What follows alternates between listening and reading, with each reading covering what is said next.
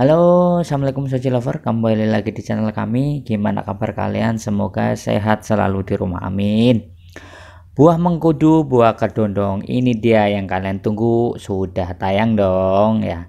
Ini adalah sepatu Asics Metares ya. Jadi banyak banget nih teman-teman yang sudah minta untuk di request secara lengkap dan seperti apa performanya seperti apa kualitasnya nanti akan kita bahas secara lengkap. Namun sebelum lanjut jangan lupa klik tombol subscribe nya buat kalian yang baru mampir dan baru nonton video kita ini. Serta yang sudah subscribe dan lagi nonton video ini saya ucapkan terima kasih. Oke tanpa berlama-lama langsung kita review. Let's go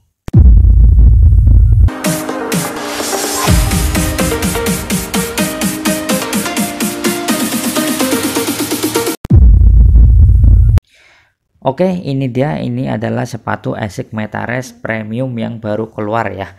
Jadi yang keluar ini ada empat warna, warna hitam merah ini, kemudian warna putih uh, gold, kemudian warna putih biru, serta satunya lagi itu adalah warna oranye Tokyo.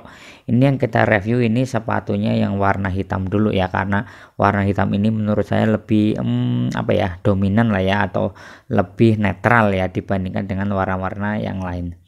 Oke, ini kalau dari segi tampilan seperti ini, tampilan yang premiumnya, ini mirip banget dengan yang orinya ya. Jadi kalau yang ori itu tampilannya uh, seperti ini dan ini yang premium tampilannya seperti ini. Jadi kalau sekilas itu benar-benar nggak ada bedanya ya dari yang ori ya. Jadi benar-benar super duper mirip sama yang ori ya. Dan kemudian untuk bahannya sendiri ini bahannya ini juga dia lain daripada sepatu Asics Premium yang lainnya ya. Ini untuk bahannya sendiri dia itu campuran ya. Untuk bagian depan ini dia mirip kayak semacam uh, plastik tapi plastiknya itu plastik yang uh, berlumur atau double dengan beberapa uh, serat kain sintetis ya. Jadi serat kain sintetisnya itu sedikit dia lebih banyak plastik ya untuk sisi ini untuk sisi bagian luarnya ya. Dan untuk logonya ini sendiri dia tempelan ya uh, tempelannya ini kayak semacam stiker tapi yang tebal ya. Kemudian untuk sisi bagian dalamnya dia bahannya itu dominasinya adalah uh, kanvas ya. Ini bagian belakangnya itu kanvas tapi kanvasnya itu kanvas halus dan uh, lembut banget ya. Ini kanvasnya tuh halus. Halus banget ini benar-benar halus. Dan bagian depannya pun pakai kanvas yang uh, sangat halus dan ini tebal ya jadi ini bagian depannya ini dia plastik ya seperti ini. Jadi nggak ada breathingnya sama sekali. Jadi ketika kalian pakai ada pasir ataupun ada debu itu uh, dia nggak bakalan bisa masuk ke dalam uh, kaos kaki kita ataupun kaki kita ya.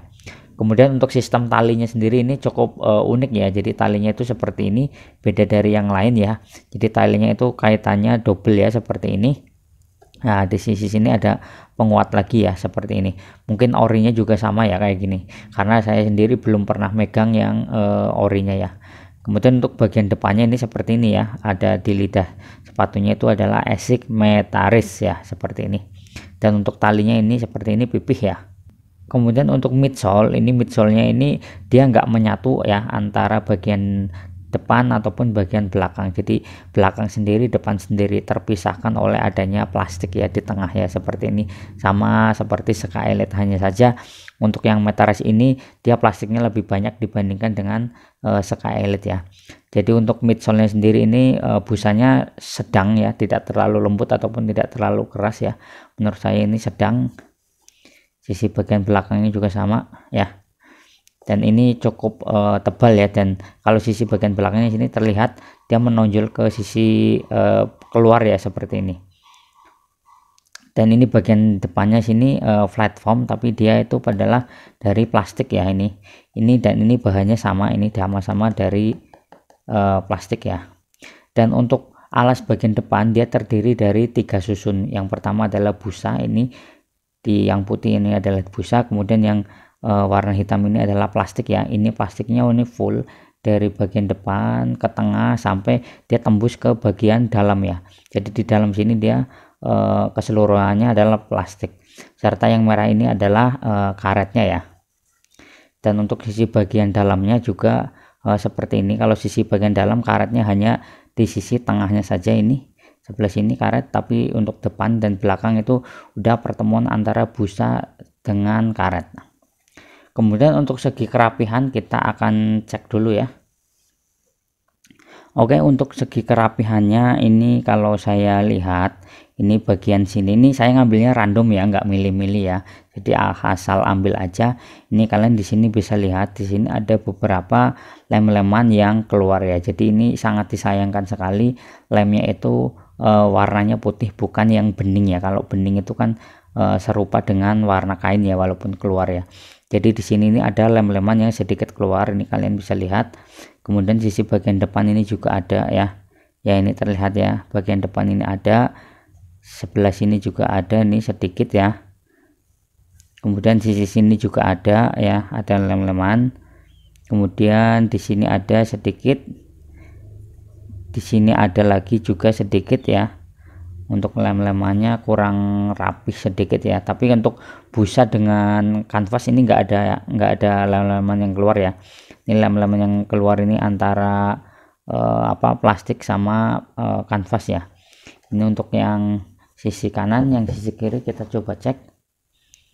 Untuk yang kiri ini juga sama ini plastik dengan kanvas ada yang keluar ya. Karena uh, bagian kanvas dengan plastik itu dia kalau ada lem itu pasti dia nggak terserap ya. Jadi dia pasti ada sisi yang ataupun ada lem yang meluber ya kasarannya. Beda kalau dengan uh, si busa dengan kanvas. Ada lem-lem yang terserap ya. Ini bagian sini ada lem-lem yang keluar terlihat. Kalau untuk sini aman. Ini di sebelah sini ada dikit. Ini bagian depan ini ada sedikit ya. Kalau nah ini terlihat ya. Bagian sini ada kemudian bagian sini juga ada ya sedikit. Kemudian sisi sini juga ada ya. Jadi baik kanan ataupun kiri itu semuanya hampir ada lem-leman yang kurang rapih ya. Kemudian untuk segi kemudian untuk segi outsole ini outsole-nya seperti ini. Outsole-nya ini bentuknya mirip lah ya dengan yang orinya dan bentuknya itu seperti ini. Jadi di tengah ini yang putih adalah kanvas yang ini abu-abu dan merah ini adalah karet dan yang dan yang hitam ini adalah plastik ya. Jadi dia nggak full karet ya karetnya hanya di bagian depan dan bagian belakang. Dan untuk karetnya sendiri ini luar biasa kalau menurut saya. Karetnya itu terlihat ya di sini ini tebal sekali ya. Jadi ada sekitar setengah senti ya. Ini karetnya itu benar-benar tebal dan cukup eh, nggak eh, terlalu lembut kalau menurut saya ya. Jadi kalau ini yang abu-abu cukup lembut sedikit ya ini abunya cukup lembut tapi untuk yang merah ini cukup keras. Ya untuk merahnya cukup keras. Yang lembut itu abu-abu lembut yang merahnya keras. Dan ini kalau untuk sisi bagian belakang ini eh, dia separuh aja ya. Jadi separuhnya ini eh, rada unik nih. Biasanya kalau sepatu yang lain itu karetnya full sampai ke belakang sini. Tapi kalau yang ini hanya di eh, bagian sini saja. Jadi unik sekali ini kalau menurut saya kemudian untuk daya cengkramnya sendiri sepatu ini memiliki daya cengkram yang menurut saya cukup uh, bagus banget ya. Sama kayak premium-premium yang uh, Sky Elite ataupun yang Net Burner ini mantep banget daya cengkramnya. Dan untuk daya desitnya sendiri seperti ini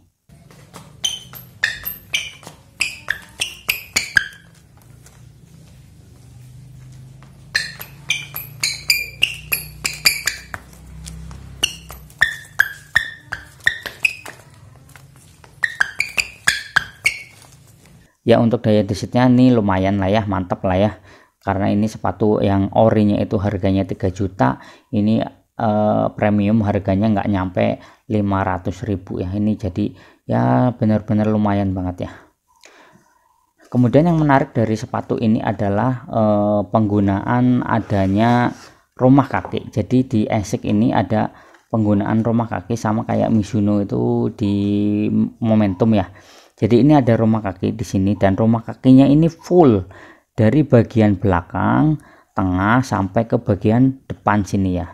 Jadi ini rumah kaki ini full dan uh, ini rumah kakinya tidak terlalu lentur ya. Jadi buat kalian ini harus benar-benar ngeterapin atau ngepasin terhadap ukuran ya. Jangan sampai pas pada saat beli itu eh, apa namanya kesempitan gara-gara si rumah kaki ini ya.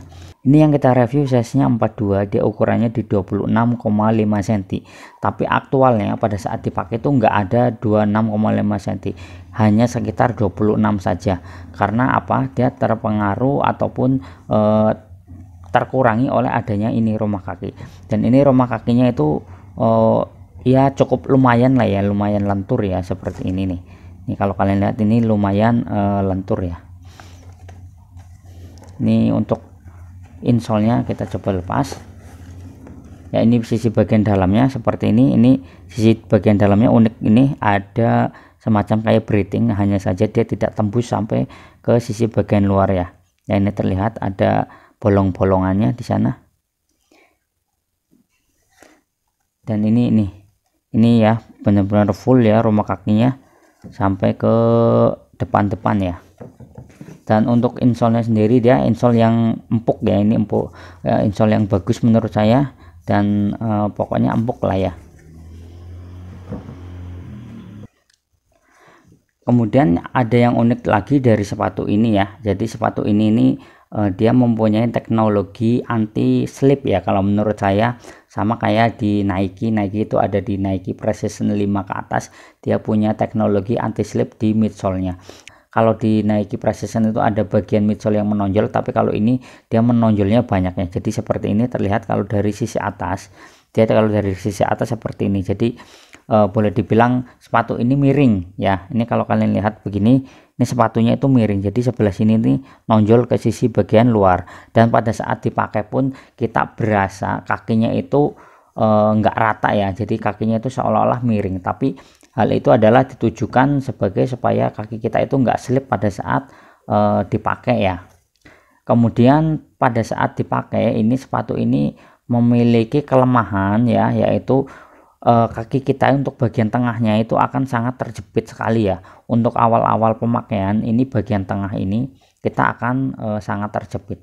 Ini ketika saya cobain untuk bagian depannya pas bagian belakangnya pas tapi bagian tengah ini bagian tengah yang sini nih itu benar-benar kita uh, kejepit banget ya. Awal-awal pemakaian itu di sini sangat uh, kejepit tapi lama-lama mulai penyesuaian ya enak ya. Karena yaitu ini di sini ada uh, rumah kakinya ya. Kemudian bagiannya juga seperti ini nih. Bagian itu enggak ideal karena dibikin uh, benar-benar super slim. Jadi buat kalian yang mau beli ya sebisa mungkin sih nyobain ataupun ya nanti kalau kalian beli di tempat kita kalau misalkan kesempitan kalau misalkan kurang nyaman kita bisa ya obrolin ya. Kita bisa tuker ya. Masih bisa tuker selama belum dipakai untuk bermain ya. Hanya sebatas nyobain nanti bisa tuker. Tapi sekali lagi uh, kalau bisa sih dinaikin sedikit ya. Karena bagian tengahnya ini cukup uh, memerlukan kesabaran pada saat memakai ya. Jadi press banget di sini. Di bagian tengah kaki kita itu uh, lumayan kejepit gitu ya. Dan untuk bentuknya sendiri ya ini saya senang banget bentuknya. Bentuknya ini kalau terlihat dari jauh itu benar-benar slim ya. Dari sisi bagian luar seperti ini ini slim banget. Kemudian sisi bagian dalam juga sama ya slim. Dan sisi bagian depan juga sama ya seperti ini. Hanya terlihat sisi uh, midsole-nya yang keluar padahal ini sebenarnya slim banget. Kemudian juga untuk bentuknya sendiri itu uh, ini ya tanggung ya. Ini kalau menurut saya tipe sepatu yang tanggung karena tumit kita uh, tertutup separuh saja kemudian pada saat dipakai sepatu ini juga memiliki tingkat kenyamanan yang menurut saya itu nyaman banget ya. Di dalam pada saat dipakai kaki kita itu tercengkram nyaman dan e, empuk ya. Cuman hanya saja yaitu di tengahnya itu kaki kita itu sedikit e, susah pada saat masuk pertama dan e, lumayan kejepit ya. Oke cukup sekian ya review singkat dari kami. Semoga bisa menghilangkan rasa penasaran kalian terhadap uh, Metares premium ini ya. Karena harganya yang orinya tuh cukup uh, mahal sekali ya. Jadi untuk Metares ini ada beberapa kelemahan dan kelebihan tapi lebih banyak kelebihannya ya. Yang pertama kalau dari segi kekurangan sepatu ini itu memiliki kerapihan yang cukup kurang ya. Pertama jadi kerapihan secara lem-leman itu menurut saya itu kurang masih lebih rapi eh, Sky Elite sama Netburner kalau untuk lem-lemannya ini sedikit kurang terus kemudian yang kedua adalah kelemahannya uh, untuk bagian tengahnya itu kaki kita sedikit terjepit ya. Pada saat awal-awal pemakaian itu akan sedikit uh, menyiksa kaki ya karena kaki kita sedikit kejepit. Tapi untuk keunggulannya sendiri sepatu ini memiliki kelembutan pada saat dipakai empuk nyaman ya. Terus yang kedua pada saat akselerasi kalau menurut saya akselerasi untuk uh, pada saat pergerakan akselerasi melompat ataupun turun itu di kaki itu benar-benar uh, apa ya menurut saya beda banget ya. Saya nyobain beberapa sepatu ya tapi sepatu ini nih pada saat saya cobain untuk loncat untuk uh, turun itu benar-benar uh, apa ya enak banget di kaki ya. Itu kelebihan yang mungkin nggak dimiliki oleh sepatu yang lainnya kemudian dari segi tampilan juga ini uh, ngejreng banget ya. Benar-benar uh, estetik lah menurut saya karena uh, desainnya itu mantap suratap kemudian untuk segi bobot ya ini tadi terlupa belum kita sampaikan. Jadi untuk segi bobot sendiri dia memiliki bobot yang cukup lumayan berat. Ini se ini size 42 itu memiliki bobot sekitar 350 gram. Jadi kalau eh, sepatu 42 nya Metaras itu setara dengan beratnya sepatu eh, Sky Elite Mid yang size 43 ya. Jadi untuk beratnya sendiri lumayan cukup berat tapi kalau dibandingkan dengan kenyamanan pada saat dipakai ya ah, nggak seimbang lah ya. Pokoknya ini kalau menurut saya ini benar-benar nyaman banget. Jika kalian berminat dengan sepatu ini kami menjualnya melalui online shop ataupun melalui WhatsApp pribadi ya. Linknya sudah ada di deskripsi. Kalian tinggal klik saja ya di sana. Dan barang yang kita jual itu 100% sama dengan yang kita review ya seperti ini hanya mungkin kalau kalian beda warna ya mungkin hanya beda warna saja ya tapi untuk kualitasnya itu sama ya jadi uh, kualitasnya ini random ya jadi mungkin dari sekian ribu ada yang enggak terlalu rapi ada juga yang rapi ya jadi buat kalian ya jangan terlalu berharap membeli sepatu premium atau membeli sepatu KW itu sempurna seperti sepatu ori ya tidak seperti itu ya. Oke mungkin cukup sekian ya review singkat dari saya. Semoga bermanfaat semoga bisa menghilangkan rasa penasaran kalian ya terhadap Metares yang harganya mahal sekali ya orinya Oke, kurang lebihnya mohon maaf. Jangan lupa selalu dukung channel kami dan semoga kalian semua di rumah sehat selalu, bahagia selalu dan banyak duit selalu. Amin. Assalamualaikum warahmatullahi wabarakatuh. Salam Soji Lover.